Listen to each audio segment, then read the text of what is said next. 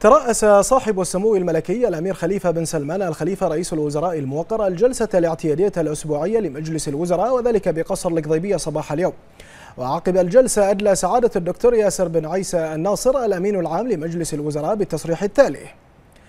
رفع صاحب السمو الملكي رئيس الوزراء أخلص التهاني والتبريكات إلى حضرة صاحب الجلالة الملك حمد بن عيسى الخليفة عاهل البلاد المفدى رعاه الله بمناسبة فوز سمو الشيخ ناصر بن حمد آل خليفة ممثل جلالة الملك المفدى للأعمال الخيرية رئيس المجلس الأعلى للشباب والرياضة رئيس اللجنة الأولمبية البحرينية ببطولة العالم للرجل الحديدي التي أقيمت في كونا بالولايات المتحدة الأمريكية.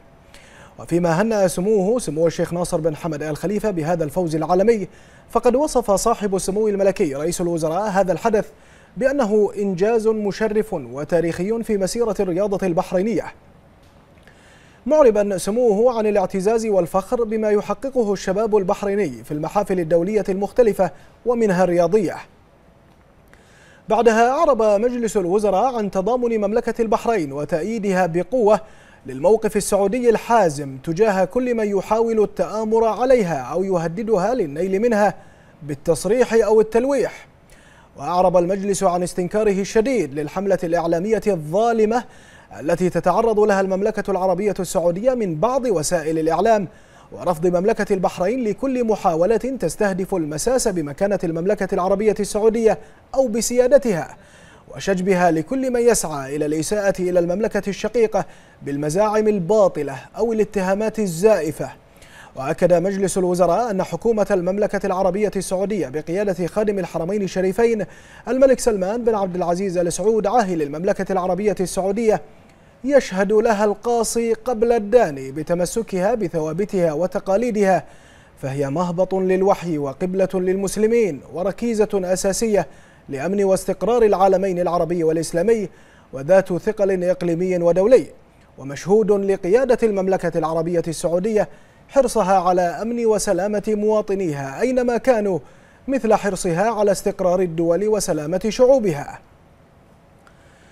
وفي سياق ذي صلة فقد وجه صاحب السمو الملكي رئيس الوزراء إلى تشكيل وفد بحريني رفيع المستوى يضم عددا من الوزراء والمسؤولين للمشاركة في منتدى مبادرة مستقبل الاستثمار الذي يعقد تحت رعاية كريمة من خادم الحرمين الشريفين الملك سلمان بن عبد العزيز ال سعود عاهل المملكة العربية السعودية وبرئاسة صاحب السمو الملكي الأمير محمد بن سلمان ال سعود ولي العهد نائب رئيس مجلس الوزراء وزير الدفاع رئيس مجلس الشؤون الاقتصادية والتنمية رئيس مجلس صندوق الاستثمارات العامة. بعدها رحب مجلس الوزراء في جلسته بتصنيف مملكة البحرين في المركز الأول على مستوى الدول العربية والمركز السابع والأربعين من بين 157 دولة على المستوى العالمي في مؤشر رأس المال البشري الصادر عن البنك الدولي. والذي تم تدشينه خلال الاجتماعات السنوية لمجلس محافظي البنك الدولي وصندوق النقد الدولي بجمهورية إندونيسيا مؤخرا. مؤكدا المجلس أن هذا الإنجاز يعكس موفقية منهج الحكومة ونجاح سياستها ويجيء ثمرة لاستثمارها الحكيم في العنصر البشري كدعامة وركيزة أساسية للتنمية المستدامة وحرصها على الدعم المستمر لقدراته ومعارفه ومهاراته وكتأكيد على نجاح استراتيجيتها التعليمية وفعالية توجهها في تعزيز جودة خدمات الرعاية الصحية المقدمة للمواطن. وقد اطلع المجلس ضمن هذا السياق على التقرير المرفوع من معالي وزير المالية وسعادة وزير التربية والتعليم الذي تضمن المعايير والمؤشرات التي على إثرها تم تصنيف مملكة البحرين في هذا الترتيب المرموق. حيث أثنى صاحب السمو الملكي رئيس الوزراء على الجهود المبذولة للقائمين على المسيرة التعليمية والخدمات الصحية. ثم رحب مجلس الوزراء بفوز مملكة البحرين بعضوية مجلس حقوق الإنسان التابع للأمم المتحدة معربا عن اعتزازه بهذه الثقة الدولية التي لم تكن لتتحقق لولا سجلها المشرف في حماية حقوق الإنسان ونهجها الحضاري وتمسكها بالقيم التي تحفظ للإنسان كرامته وتصون حقوقه واستيفاؤها للمعايير التي أهلتها لذلك. بعدها وجه صاحب السمو الملكي رئيس الوزراء إلى تعزيز الرقابة وزيادة فرق التفتيش على البيوت المؤجرة بصفة مشتركة للعمالة الأجنبية والتحقق من توافر شروط الصحة والسلامة فيها والتقييم الشامل لها. كما وجه سموه أيضا إلى اتخاذ الإجراءات القانونية والإدارية التي تكفل تنظيم عملية تأجير السكن المشترك على العمالة الوافدة. وكلف سموه وزارة العمل والتنمية الاجتماعية بالتعاون مع وزارة الداخلية ووزارة الأشغال وشؤون البلديات والتخطيط العمراني ووزارة الصحة بتنفيذ ما تقدم. وقد جاء ذلك خلال استعراض المجلس للتقارير المرفوعة حول الحادث المؤسف لانهيار مبنى بالمنامة مؤخرا من معالي وزير الداخلية وسعادة وزير الأشغال وشؤون البلديات والتخطيط العمراني وسعادة وزير العمل والتنمية الاجتماعية وسعادة وزيرة الصحة. وقد أثنى صاحب السمو الملكي رئيس الوزراء على الإجراءات التي اتخذتها مختلف الإدارات بوزارة الداخلية وبالأخص ما بذله رجال الإدارة العامة للدفاع المدني ووزارة الصحة ووزارة العمل والتنمية الاجتماعية ووزارة الأشغال وشؤون البلديات والتخطيط العمراني على الإجراءات التي اتخذت في التعامل مع هذا الحادث. بعدها نظر المجلس المذكرات المدرجة على جدول أعماله واتخذ بشأنها من القرارات ما يليه.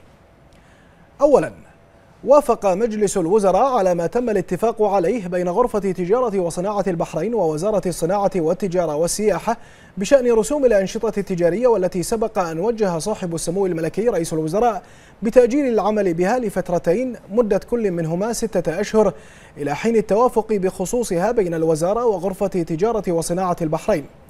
وبناء على ذلك تكون رسوم الأنشطة التجارية عبارة عن رسم ثابت قدره 100 دينار على أول ثلاثة أنشطة و100 دينار عن كل نشاط إضافي بعد ذلك.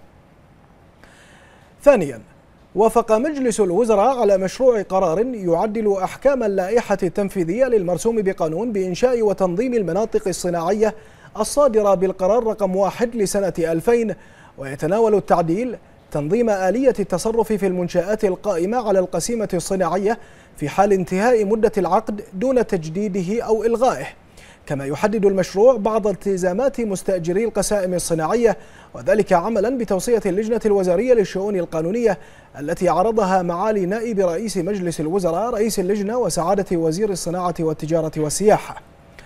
ثالثا قرر مجلس الوزراء أن تكون إدارة حماية المستهلك هي الجهة الإدارية التي تقوم بالمهام المنوطة بهيئة تشجيع وحماية المنافسة التي نص عليها قانون تشجيع وحماية المنافسة وذلك إلى حين رصد الاعتمادات المالية اللازمة للهيئة المذكورة وتشكيل مجلس إدارتها على أن تتولى إدارة حماية المستهلك كافة الصلاحيات والمهام اللازمة لتشجيع وحماية المنافسة إلى حين تشكيل هيئة تشجيع وحماية المنافسة. رابعاً وافق مجلس الوزراء على مشروع قانون جديد بشأن تنظيم ومراقبة التجارة الدولية في الأنواع المهددة بالانقراض من مجموعات الحيوان والنباتات الفطرية. وذلك بهدف مراقبة الإتجار بها وحمايتها من الاستغلال المفرط والانقراض وبما ينسجم مع ما نصت إليه اتفاقية التجارة الدولية في الأنواع المهددة بالانقراض من مجموعات الحيوانات والنباتات الفطرية السايتس. والتي صدقت عليها مملكة البحرين بالقانون رقم 27 لسنة 2012 وقرر المجلس إحالته إلى مجلس النواب وذلك على النحو الذي أوصت به اللجنة الوزارية للشؤون القانونية وعرضها معالي نائب رئيس مجلس الوزراء رئيس اللجنة المذكورة.